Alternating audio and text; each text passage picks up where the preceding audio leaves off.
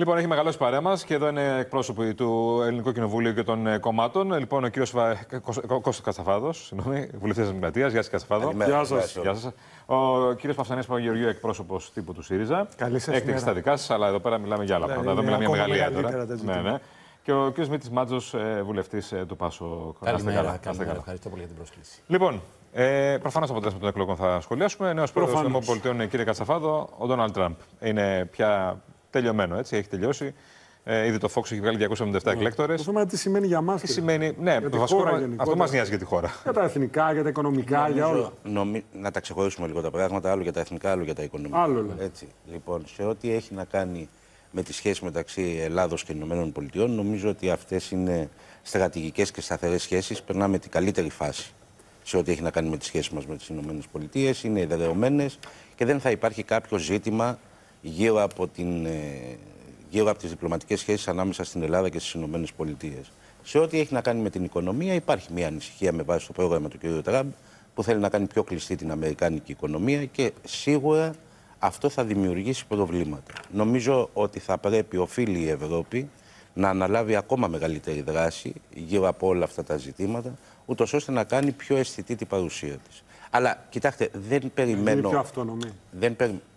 Κοιτάξτε, όταν έχουμε δύο πολέμους στη γειτονιά μας, νομίζω ότι η Ευρώπη θα πρέπει να αντιληφθεί τον κρίσιμο ρόλο τον οποίο έχει απέναντι στα κράτη και στους λαούς. Είναι και λίγο σε αδράνεια σε αυτά τα θέματα. Στα μεγάλα θέματα η Ευρώπη είναι αργοκίνητη. ούτως ή Εγώ άλλως. κύριε Κολοκυθά δεν θα διαφωνήσω. Είναι ένας αργοκίνητος μηχανισμός, είναι ένα μεγάλο καράβι η Ευρωπαϊκή Ένωση, το οποίο δεν στρίβει εύκολα. Πολλές χώρες. Έτσι, πάνω στη ρότα την οποία να χαράξει. Αλλά νομίζω ότι αυτό είναι ένα πεδίο σκέψης γύρω από το οποίο θα πρέπει να κινηθούν και οι, Ευρω...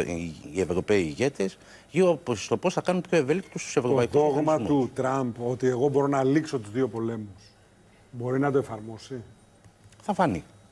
Θα φανεί. Νομίζω ότι αυτή είναι η βούλησή του πάντως. Ναι, αλλά ο Τραμπ μπορεί να πει ότι εγώ αύριο αποσύρω τη χρηματοδότηση παραδείγματος χάρη στην Ουκρανία και να μείνουν τα πράγματα όπως είναι. Είναι δεν τόσο είναι εύκολο. Ευρώπη Έχει σταθεί, έχει σταθεί έχει απέναντι σε είναι όλα αυτά. δεν είναι, Κοιτάξτε, μιλάμε, μιλάμε για την παγκόσμια υπερδύναμη. Δεν είναι τόσο εύκολο.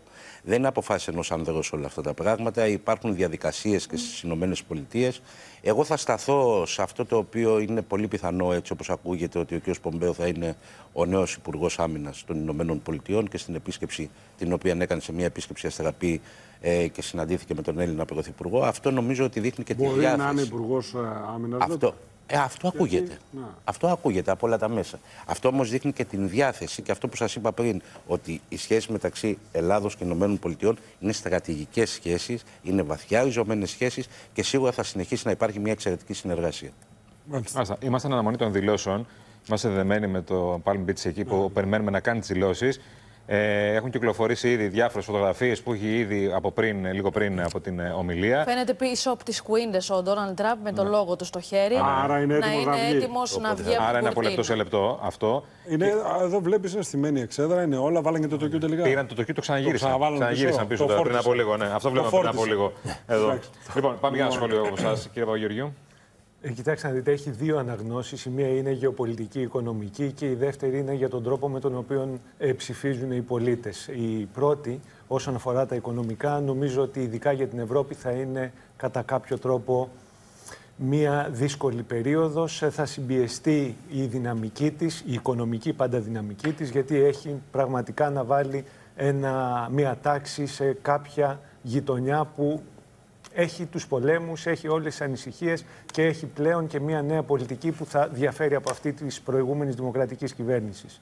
Άρα το δεύτερο που ίσως θα μπορούσαμε να πούμε περιμένοντας κιόλας να βγει η ομιλία του Τραμπ και να δώσει το πρώτο έναυσμα της ε, κατεύθυνσής του μετά την νίκη είναι ότι πρέπει να φουγκραζόμαστε και τον κόσμο με ποια κριτήρια πηγαίνει σε εκλογές. Όταν βλέπουμε ότι αποκτά μεγαλύτερη απόλυτη δύναμη σε ψηφοφόρους από τις προηγούμενες εκλογές είναι κάποια μηνύματα που οι αναλυτές πρέπει να τα δούνε και πολιτικά αλλά και στο τι γίνεται λάθος από άλλες παρατάξεις και από άλλα στρατόπεδα πολιτικά και φτάνει ο κόσμος να συμπορεύεται Το πολιτικό με κάτι μήνυμα το μας οποίο αφορά για τον τρόπο που προηγουμένως έχει- ψηφίζει ο κόσμος και εμάς. Γιατί εδώ βλέπουμε έναν κόσμο ο Δεν οποίος... αφορά όλη την Ευρώπη, όχι μόνο εμάς σαν Ελλάδα. Αφορά πάρα πολύ την Ευρώπη. Δεν το γιατί πιάνουμε είμαστε πολύ και καλά, εμείς. Δεν το κύριε Παπαγεωργίου. πιάνουμε. Εξώ το Έχεις έχετε καταλάβει δίκιο, δεν το όλοι. πιάνουμε. Και εμείς, και, εμείς, Πραγματικά- και τα μέσα, αλλά και η η πολιτική ζωή και του τόπου του δικού μας, δεν το πιάνουμε πολύ καλά πώς ψηφίζει ο κόσμος τελικά. Αυτό Είναι πάντως πάρα το οποίο πολύ δύσκολο. φάνηκε, αν μου επιτρέπει ο κ. Παπαγεωργίου, γιατί όντως αυτό το οποίο έκανε ο κ. Τραμπ να πάρει περισσότερους ψήφους από όταν είχε εκλεγεί πρόεδρος, όχι από τις τελευταίες Καλά, κάτι σημαίνουν όλα Μόνο ο αυτά. Τζορτ Μπούς το είχε Από κάνει όταν- αυτό. από Ο όταν Τζορτ είχε Μπούς το είχε εκλεγεί κάνει πρόεδρος. μόνο. Πρεσβύτερο.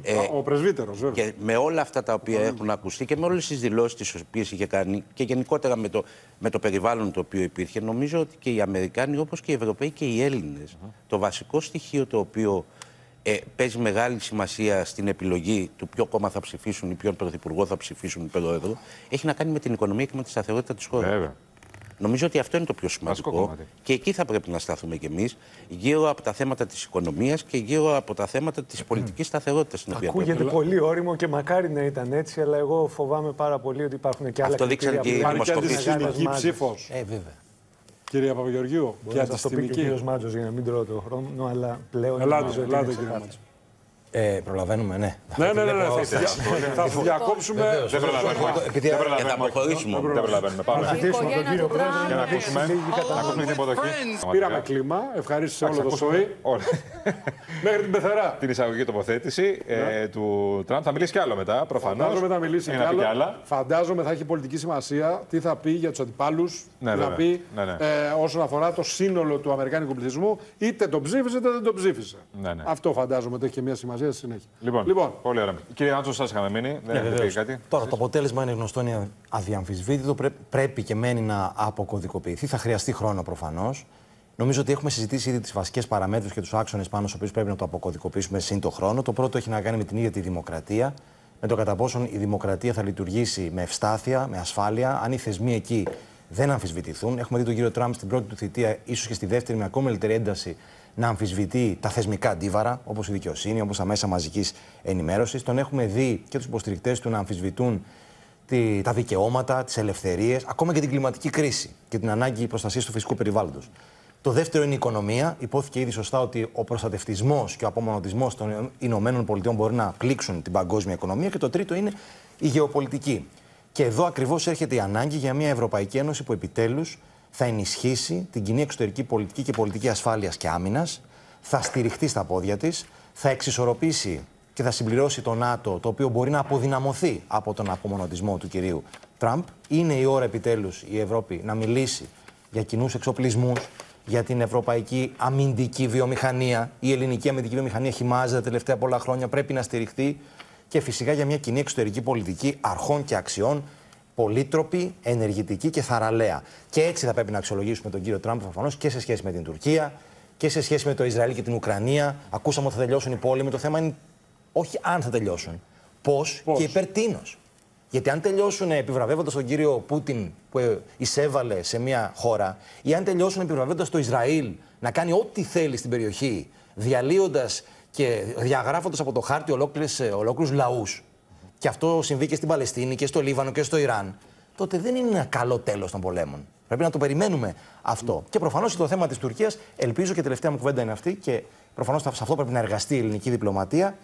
Η εγγενής συμπάθεια του κυρίου Τραμπ σε αναθεωρητές ηγέτες να μην θολώσει τις όντως ενισχυμένες και ε, σταθερές σχέσεις της Ελλάδας με τις ΗΠΑ. Σας ευχαριστούμε.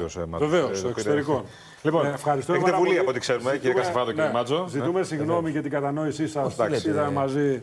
τις Ιστορική δηλώσεις του στιγμή νέου να σε Προέδρου. διακόπτει ο, ο 47ο πρόεδρος των ΗΠΑ. Α, Σωστό κύριε Σωστό. Μάτση.